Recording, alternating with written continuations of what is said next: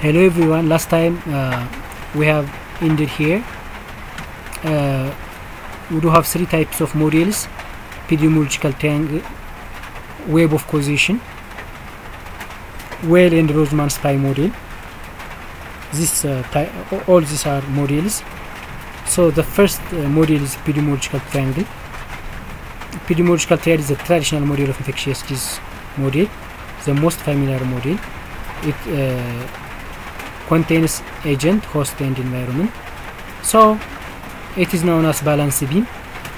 It holds is the state of equilibrium between agent host and environment. So if the three things are became equilibrium our health is maintained. Our health is maintained. So according to this model environment balances the agent and the host. The host.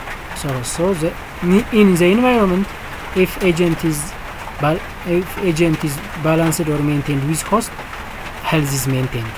Health is kept. So uh, this is the model uh, concepts when see the drawbacks of this model in chronic disease it does not adequately explain, explain pathogenesis. Many agents have one disease. One agent has many diseases. So unable to explain the pathogens of many diseases affecting the man this is the drawback of uh, the epidemiological triad model and the other is web of causation. Web of causation. Uh, this is the second type of model. Epidemiological triad has contributed to the understanding of this etiology but process is much more complex. A paradigm for the cause of chronic disease.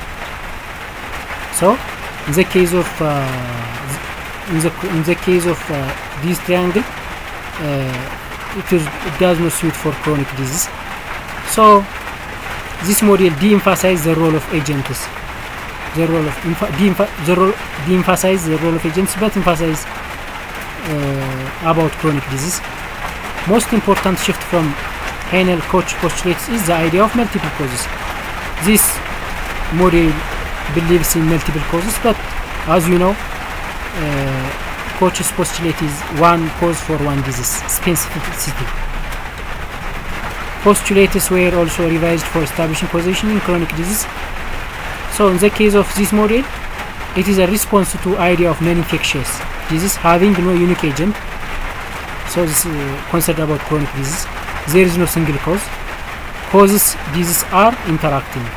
So here is a disease but it may be the multiple uh, it may have mul multiple causes like social organization behavior psychology microbes unknown factor workplace biochemistry animal human interaction phenotype genes unknown factor. All these are considered as web of causation. This is also web of causation for major cardiovascular disease. Major you can see this so the other is uh, the wheel model.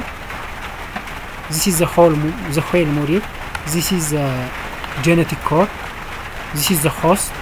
Host content uh, balances uh, the physical factor social factor and the biological factor. So the wheel model is shows human and environment relationships. This is a human and the surrounding the environment it studies the relationship between human and environment the consists of hub the host and human which has genetic makeup as the core here. The surrounding is the environment divided into biological social and physical. Emphasize the unit of interacting factors. So the human the host and environment social physical and biological factors. The last uh, model is the Rothman's pie model sufficient cause and component cause model Rothman's pie model illustrates the factors act to cause this as piece of pie. The whole pie making up sufficient cause for the disease. A single risk factor from the whole is called component cause. Component cause. So uh, this is all about the Rothman's pie model uh, believes about sufficient cause and component thank you very much for your attention. Please subscribe like share this uh, video